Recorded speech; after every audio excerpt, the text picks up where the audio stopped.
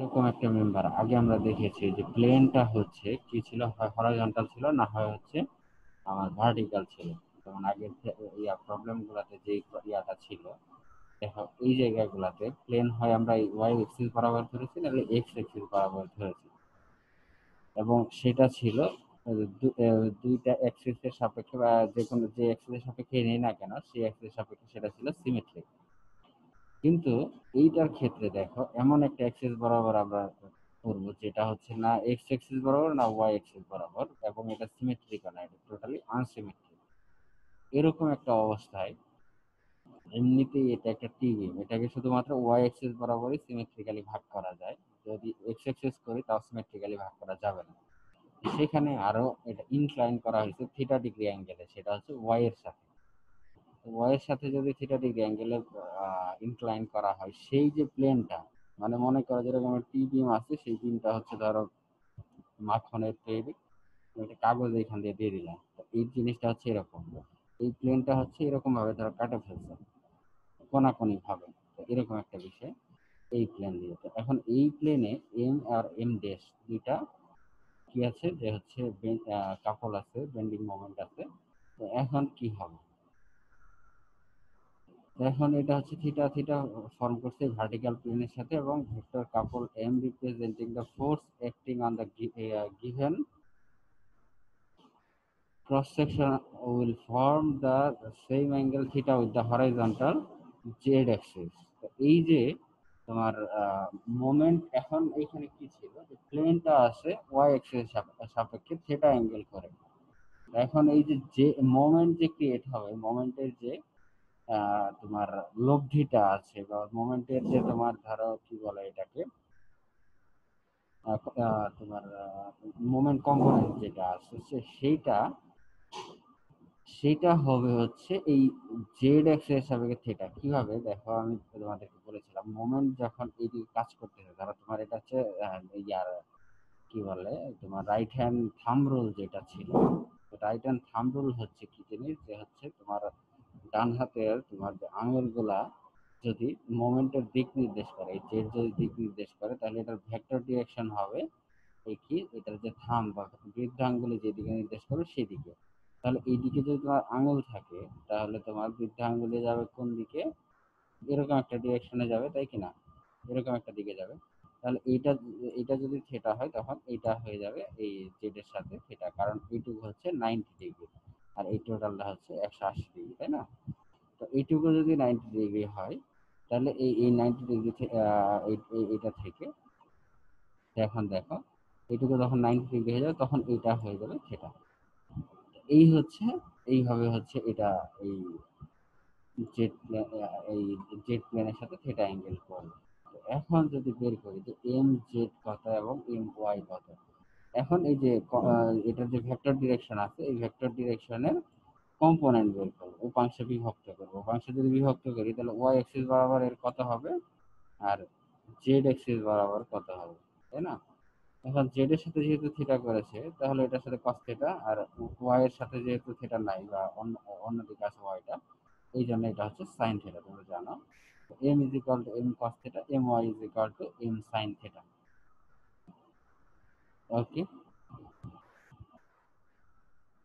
since y and z axis are principal central uh, uh, principal centroidal তার মানে হচ্ছে y এবং z axis দুইটাই centroidal axis দেখো দুইটাই centroid দিয়ে গেছে এই টিবি এর সেন্টারটা হচ্ছে এই জায়গাটাতে আর এই দুইটা অ্যাক্সিসই ক্রস করেছে দেখো z axis এর দিক দিয়ে গেছে এবং y axis এর দিক দিয়ে গেছে তো এই দুইটা অ্যাক্সিসই centroidal axis তো এতে এখন কি আছে? যে central axis and cross section we can use equation four four point sixteen to determine the stress resulting from the application of either couple represented by M Y M Z এবং couple acting on the vertical plane and bend the member on the plane and resulting the stress এখন আমরা যদি এই plane প্লেনের উপর যদি আমরা এটা স্ট্রেস বের করতে চাই, তাহলে এই দুই এটার উপর দুই প্লেনেরই কিন্তু ইফেক্ট থাকবে।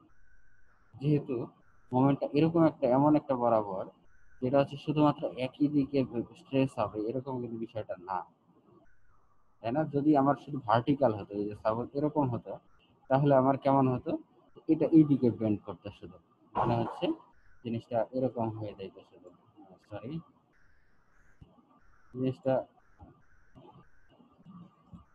এইভাবে যদি হতো, শুধুমাত্র ভার্টিক্যাল প্লেন তাহলে এইভাবে বেঁকে যাইতো অথবা যদি হরাইজন্টাল প্লেনে হতো, যেটা হচ্ছে দেখি, তাহলে কি হতো? নিচের দিক হয়তো এই সাইডে বেঁকে যেত। দেখি হরাইজন্টাল প্লেনে ছবি দেওয়া আছে আচ্ছা এখানে দেওয়া নাই আর। সাপোজ ধরো এই দিক থেকে তুমি যদি চাপ দাও আচ্ছা এই যে এখানে আছে।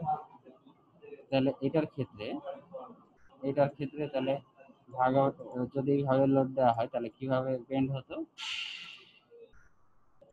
দেখো, এটা যদি এইভাবে যেহেতু লোড দেওয়া হতো, তাহলে এটার বেন্ড হতো তোমার কীভাবে? এইভাবে বেন্ড হয়ে যেত, তাই কিনা এইভাবে ওইদিকে বেন্ড হতো, যেহেতু এই প্লেনের বরাবর লোড দেওয়া হচ্ছে। চিন্তা করো, এই জিনিসটাকে দুই দিকে তুমি হাত দিয়ে ধরে এদিক থেকে চাপ দিচ্ছ এরকম একটা জিনিসকে তাহলে কোন দিকে বাঁকবে? ওই দিক দিয়ে বাঁকে আসবে।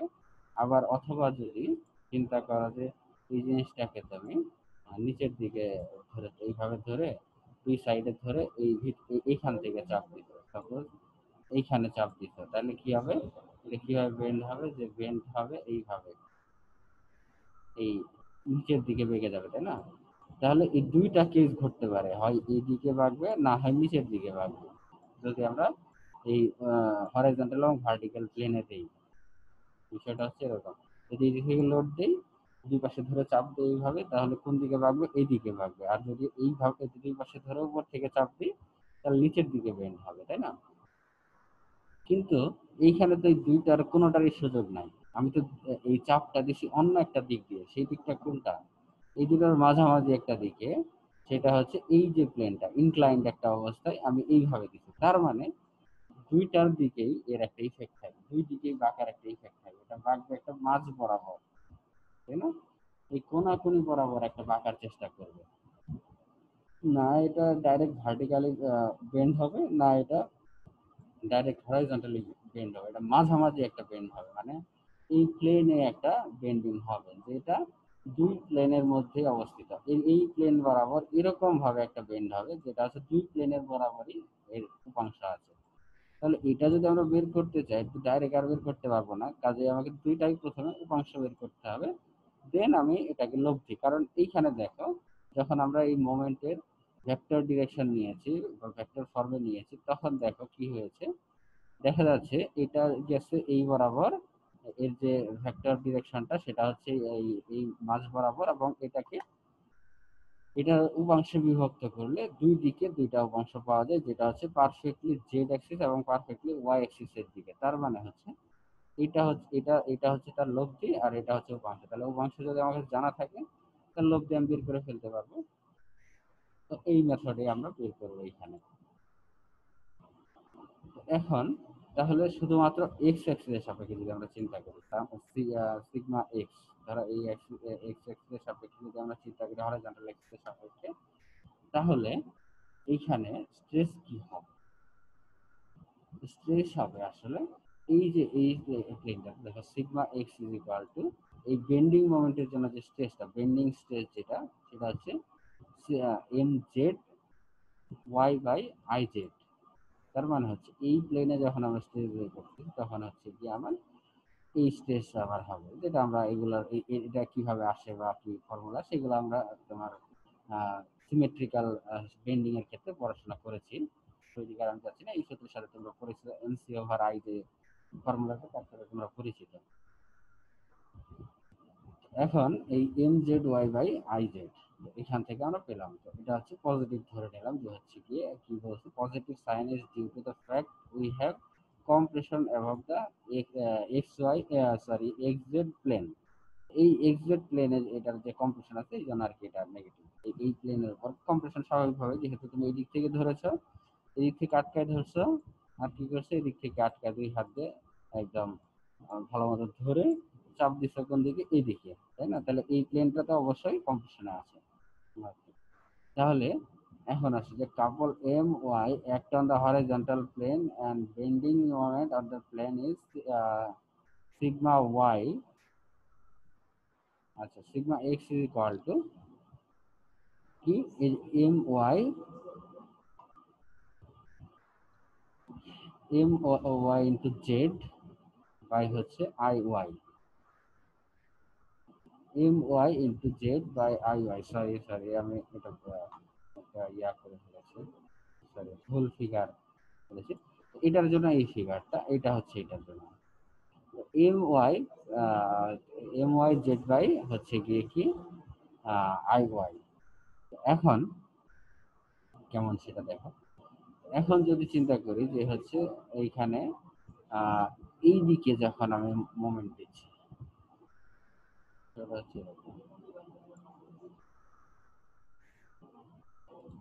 এই ভিতর দিক থেকে যখন চাপ দিচ্ছে এইদিকে তখন এটা এইভাবে বেগে যাচ্ছে না?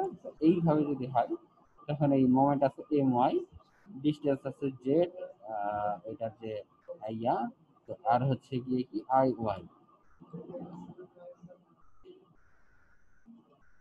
এখন এটা হয়ে গেল। এই ক্ষেত্রে এখন যদি আমরা চিন্তা করি যে এখন দেখো তাহলে বেন্ডিং মোমেন্টের জন্য যদি চিন্তা করি, এখানে শুধু কিন্তু মোমেন্ট তো plus sign due to the fact that the tension in the left of the X Y plane X Y প্লেনের লেফট সাইডে কি আছে? হচ্ছে গিয়ে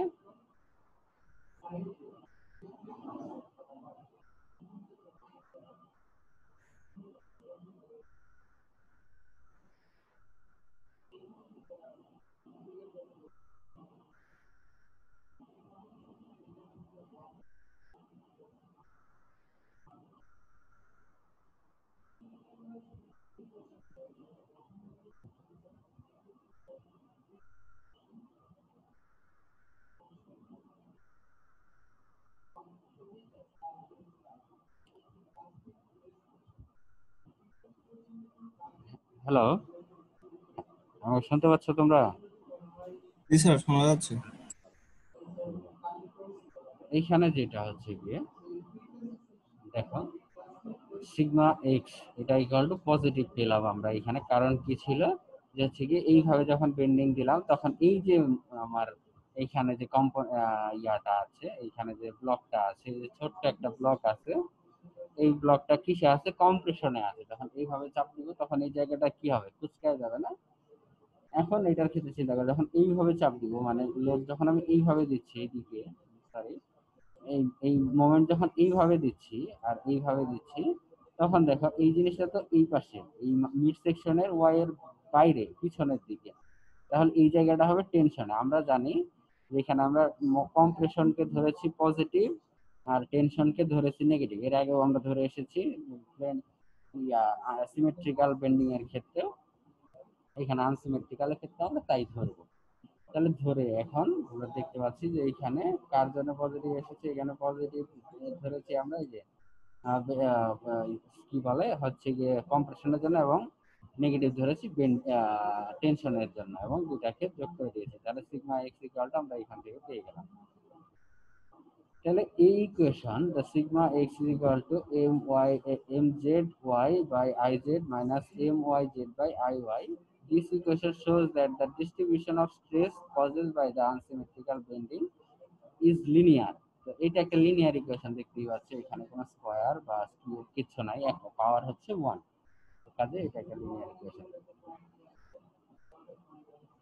since the normal stress is zero at any point of the neutral axis the equation defining the axis will be obtain by sigma X equal to zero we can write এখন যদি neutral এক্সের চিন্তা করি, তাহলে sigma x কি হয়? Zero হয় তাহলে যদি সেটা জিরো লিখি sigma X equal to zero লিখি, তাহলে M Z Y by I Z M X Y by I Z equal I Y equal to zero এটা যদি লিখতে পারি এটা লিখলে আমরা এই দুটাকে সমান লিখতে পারি। আচ্ছা লিখলাম।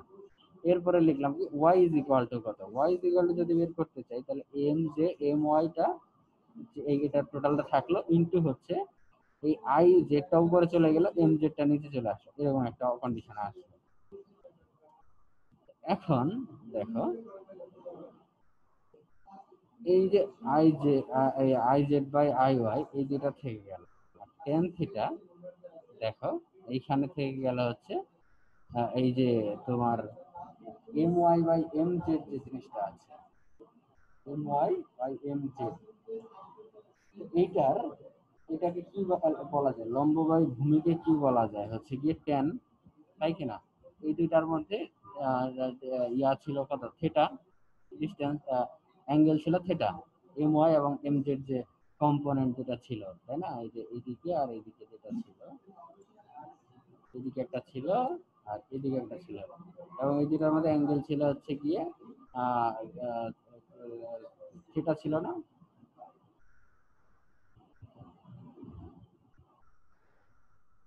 আচ্ছা।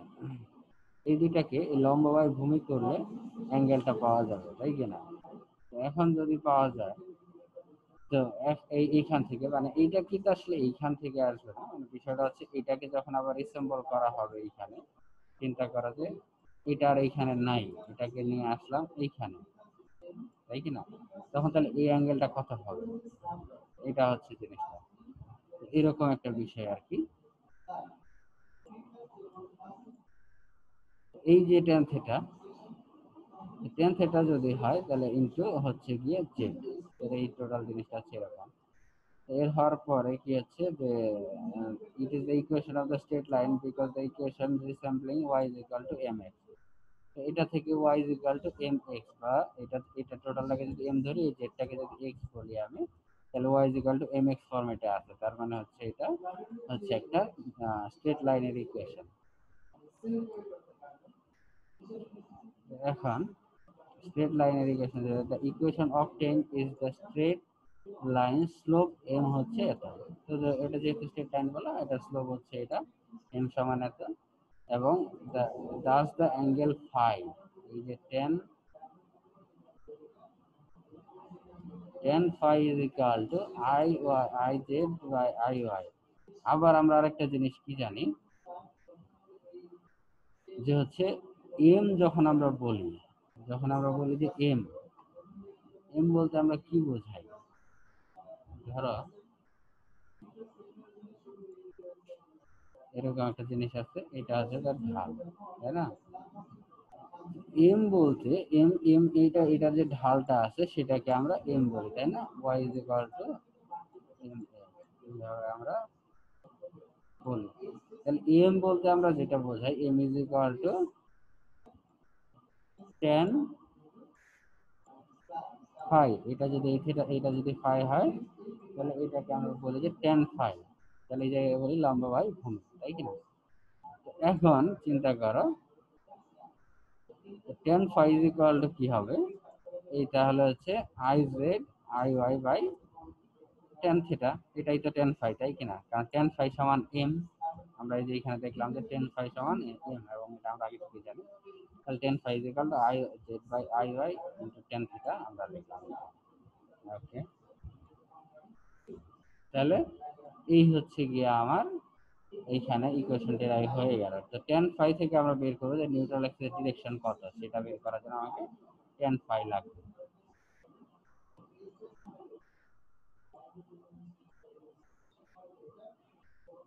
এখন আমরা একটা প্রবলেম লিখি ডিয়ার অ্যান্ড জনস্টনের বই থেকে। এরকম একটা প্রবলেম আছে, কি বলছে? আচ্ছা কারও কোনো সমস্যা আছে? আচ্ছা। দেখো, একটা প্রবলেম দেওয়া আছে। প্রবলেমটা হচ্ছে গিয়ে, এরকম একটা সেকশন আছে ক্রস সেকশন ক্রস সেকশন আছে। তার মধ্যে বলা আছে যে হচ্ছে গিয়ে, এর এই দিক বরাবর একটা ষোলো ষোলোশো পাউন্ড পার ইঞ্চ একটা লোড আছে। মানে একটা মোমেন্ট আছে। তার মানে মোমেন্টটা আছে আসলে এই প্লেনের উপর কোথাও একটা। এই যে এই প্লেনটার উপর আছে কোথাও একটা, যার কারণে এর ভেক্টর ডিরেকশনটা এই দিকে আর কি। ভেক্টর ডিরেকশন দেখাইছে এই দিকে। মোমেন্ট কিন্তু দেখায় না এটা ভেক্টর ডিরেকশন দেখাইছে। তার মানে এই জিনিসটা এই প্লেনের উপরে একটা মোমেন্ট আছে। এখানে এরকম একটা জায়গায় কোথাও একটা মোমেন্ট আছে। এই প্লেনের এখানে এবং এইটার সাপেক্ষে, এই অ্যাক্সিসের সাপেক্ষে মোমেন্টটা এখানে কোথাও আছে। এই প্লেনের উপরে, তাই কিনা এরকম যদি থাকে, ষোলোশো pound per pound inch মোমেন্টটা couple applied wooden beam rectangular cross section one point five by হচ্ছে থ্রি পয়েন্ট ফাইভ প্লেনে আসছে। In this plane formation the angle is thirty degree with the vertical determine the এখন এই যে প্লেনটা এটা হচ্ছে এই ভার্টিক্যাল অ্যাক্সিসের সাপেক্ষে থার্টি ডিগ্রি এখন determine the maximum stress in beam এখন বের করতে হচ্ছে যে এই প্লেন এই বিমের উপর ম্যাক্সিমাম স্ট্রেসটা কত? এর উপর ম্যাক্সিমাম কি পরিমাণ স্ট্রেস আছে? এটা একটা বিষয়। আরেকটা কি চাইছে? The angle that the neutral surface form with the horizontal plane অ্যাঙ্গেলটা কতটুকু ফর্ম করে? কতটুকু অ্যাঙ্গেল এই নিউট্রাল অ্যাক্সিসটা ফর্ম করে the angle that the neutral axis neutral surface forms with the horizontal axis এই হরাইজন্টাল অ্যাক্সিসের সাপেক্ষে এটা কত ডিগ্রি অ্যাঙ্গেল ফর্ম করে, এটা আমাকে বের করতে হবে। এই ছিল কোশ্চেন এখন আমরা যাই সলিউশনটা কীভাবে করা যেতে পারে আমরা দেখি। এটা আমরা যেভাবে সব দেখে আসলাম, যেভাবে ডিরাইভেশন করলাম, সেইভাবেই আমরা করব এখানে। এখানে দেখো ম্যাক্সিমাম স্ট্রেসের জন্য আমরা প্রথম সলিউশন যদি করতে চাই, তাহলে কম্পোনেন্ট আমরা প্রথমেই কি করব? এই জিনিস যেহেতু এই বরাবর আছে, তাহলে প্রথমে আমরা এর যদি লব্ধি বের করতে প্রথমে আমরা এটাকে এদিকে নিয়ে চলে আসব, তাই কিনা এটার, এটা যেহেতু এরকম আছে, প্রথমে আমরা এই জিনিসগুলো বের করব কম্পোনেন্ট বের করব, তাহলে M Z is equal to কত? ষোলোশো ইন্টু কস থার্টি ডিগ্রি আর হচ্ছে M Y is equal to ষোলো ষোলোশো সাইন থার্টি ডিগ্রি তো এম জেডটা আছে আসলে এইদিকে অ্যাক্সিসটা এটা হচ্ছে ওয়াই অ্যাক্সিস তাই না? তাহলে আমার এই থিটাটা এই থার্টি ডিগ্রিটা কোথায় আছে? থার্টি ডিগ্রিটা এখানে আছে। তাহলে এটা কি কস এটা হচ্ছে কস আর এটা হচ্ছে সাইন উপরের দিকে হচ্ছে সাইন থিটা তাহলে দেখো এই যে ষোলোশো কস থিটা ষোলোশো সাইন থিটা দুইটা আমরা বের করে ফেললাম। তো বের হয়ে গেল এখন হচ্ছে আই ওয়াই কত? আই জেড কত? সেটা আমরা বের করব। তো আমরা জানি যে B H cube by twelve থেকে আমরা জানি এটা।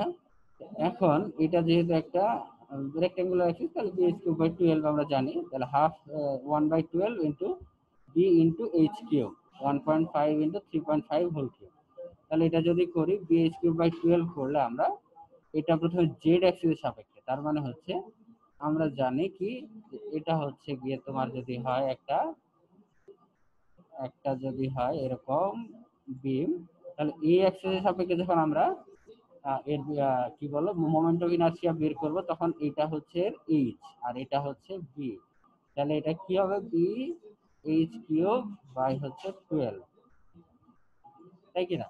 তাহলে বিএইচ কিউব বাই টুয়েলভ যদি হয়, তাহলে এটার ক্ষেত্রেও সেম ভাবে বিএইচ কিউব বাই টুয়েলভ আর যখন ওয়াই এক্সের সাপেক্ষে বের করব। তখন H B cube by twelve এই এক্সের সাপেক্ষে যখন বের করব, তখন বের করব হচ্ছে এইচ বি কিউব বাই হচ্ছে গিয়ে টুয়েলভ তাহলে দেখো এখানে একটা হচ্ছে বিএইচ কিউব বাই টুয়েলভ আর একটা হচ্ছে H B cube by twelve করে আমরা এটার মোমেন্ট অফ ইনার্সিয়া বের করে ফেললাম। এখন তাহলে আমার যা যা লাগবে ফর্মুলা মানে যা যা ফর্মুলায় আছে, সবকিছু আমাদের বের করা শেষ। এখন শুধু ফর্মুলায় বসে ভ্যালুটা বের করব। তাহলে দেখো, এখানে sigma one is equal to কত আছে? M M Z Y by I Z এখানে সবকিছু আমাদের জানা এখন। এম এর ভ্যালু দেওয়া আছে আমরা বের করে নিলাম প্রথমেই। জেড এর ভ্যালু আই জেড এর ভ্যালু বের করলাম। এখন হচ্ছে ওয়াই ওয়াই এর ভ্যালু হচ্ছে হাফ এটা আমরা জানি কি? যে হচ্ছে গিয়ে সেন্ট্রাল বা নিউট্রাল অ্যাক্সিস থেকে এর যে টপ ফাইবারের ডিস্টেন্স অথবা ফারদেস্ট ফাইবারের ডিস্টেন্স সেটা হচ্ছে ওয়াই তাহলে সেটা বের করে এখান থেকে এই ফর্মুলা থেকে আমরা সিগমা ওয়ান এই যে সিগমা ওয়ান একটা একটা স্ট্রেস আমরা বের করে ফেললাম। ওকে এই যে, এই এই ভ্যালু দিলাম, এই ভ্যালু দিলাম, এই যে ভ্যালু বসায় দিয়ে আমরা এখানে বের করে ফেললাম। এখন আসি যে সিগমা টু কত? আরেকটা আরেকটা সিগমা কত?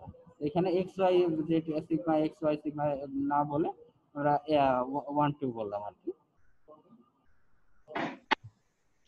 এইখানে আরেকটা সেম ভাবে এম ওয়াই ছিল আঠারো, আর হচ্ছে জেড হচ্ছে পয়েন্ট সেভেন ফাইভ আর হচ্ছে আই ওয়াই হচ্ছে এত। তাহলে হচ্ছে এখান থেকে সিগমা টুটা আমরা বের করলাম। সিগমা টু বের হয়ে গেল, আর সিগমা টু বের হয়ে যাওয়ার পরে এখন আসা যে sigma max equal to maximum sigma কত হবে? sigma 1 plus sigma 2 the largest tensile stress due to the combined loading, therefore will be occurred in a, এটা হচ্ছে 1 আর একটা হচ্ছে 2 দুইটার যোগফল করে এই যে কত? এক হাজার বাষট্টি আসলো। এখন তাহলে একটা আমাদের সিগমা ম্যাক্স বের হয়ে গেল। একটা আমাদের কাজ শেষ। মানে একটা জিনিস আমাদেরকে একটা কোশ্চেনের আনসার বের করে ফেললাম আমরা। এখন আরেকটা যে চাইছে, আরেকটা কি চাইছে সেটা আমরা দেখি। আরেকটা চাইছে হচ্ছে সিগমা সরি ফাইল ভ্যালুটা চেয়েছে। Phi is equal to I Z by Y tan theta আমরা এটা আগে দেখলাম ফর্মুলা থেকে বের করছিলাম। তাহলে জেড বাই ওয়াই আমি জানি আই ওয়াই এর ভ্যালু জানি টেন থিটার ভ্যালু জানি। তাহলে সবগুলো বসাই দিলে আমার এই যে ফাই এর ভ্যালু চলে আসলো। এই ইকুয়েশন চলে গেল। তাহলে এই যে নিউট্রাল অ্যাক্সিস হয়ে যাবে আমার, এরকম একটা ইয়া বরাবর। তাহলে চলে গেলে আমরা এই যে তোমার এই ফাই এর যে ভ্যালুটা সেটা আমরা এখান থেকে বের করে ফেললাম। তাহলে ফাই ফাই কত দূরে আছে? এইখান থেকে সরি আমি একটু মুছে দিই। আচ্ছা তাহলে ফাইটা আছে হচ্ছে আমার, এই যে হরাইজন্টাল অ্যাক্সিসের সাথে চেয়েছিল। তাহলে এই হচ্ছে ফাই এই দিক দিয়ে এই নিউট্রাল অ্যাক্সিসটা যাবে। বুঝা গেল? যখন প্লেন এই প্লেনে যখন আমি মোমেন্ট দিচ্ছি, তখন ফাইনালি আমি হিসাব করে দেখলাম যে নিউট্রাল অ্যাক্সিসটা যাবে। এই যে seventy two two point four degree একটা অ্যাঙ্গেলে এই তোমার হরাইজন্টাল অ্যাক্সিসের সাপেক্ষে। তো এই ছিল এই এই প্রবলেমটা কীভাবে সব বের করতে হয়, কীভাবে কি করতে হয়, তো এইসব বিষয়। ঠিক আছে তাহলে, তোমরা আশা করছি যে বুঝতে পারছ। কারণ না বুঝলে আমাকে বলো যে সেই